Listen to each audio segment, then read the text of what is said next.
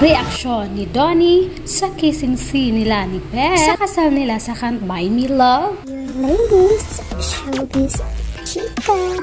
Panigurado akong marami ang inaabangan ang scene na ito at marami ang mga nakapanood ng scene nilang ito. Talaga namang kinilig ang lahat ng mga Don Bell fans, lahat ng mga nag-aabang at fans ng Can't Buy Me Love dahil nga ikinasal nga si Bingo at si Caroline.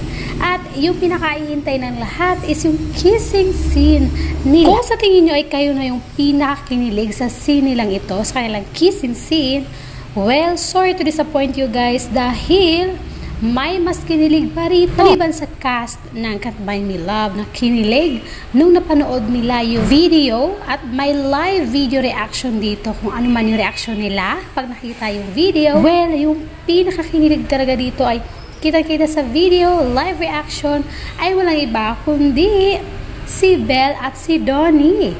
Yes, makita sa live video yung kung paano kinilig si Donnie at si Belle.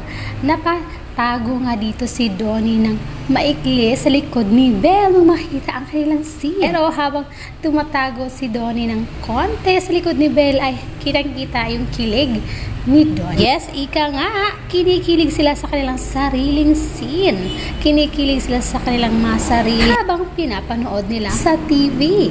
Well, narito yung buong video guys live reaction sa kissing scene ni Bingo at ni Caroline. After you watch it, gusto ko malaman kung ano yung reaction nyo dito sa reaction ni Donnie at ni Belle nung napanood nila ang kanilang kissing scene.